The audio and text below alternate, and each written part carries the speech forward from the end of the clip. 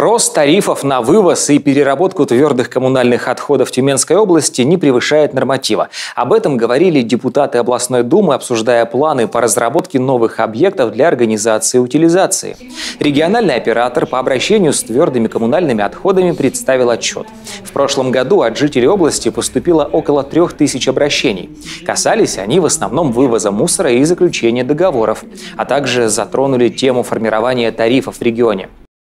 У нас рост тарифов идет согласно нормативным документам, то есть он не превышает 4%. Поэтому, когда сегодня мы э, смотрели динамику вопросов, которые поступают, то именно о тарифообразовании, о росте тарифов, это было минимальное количество обращений, которые сегодня есть.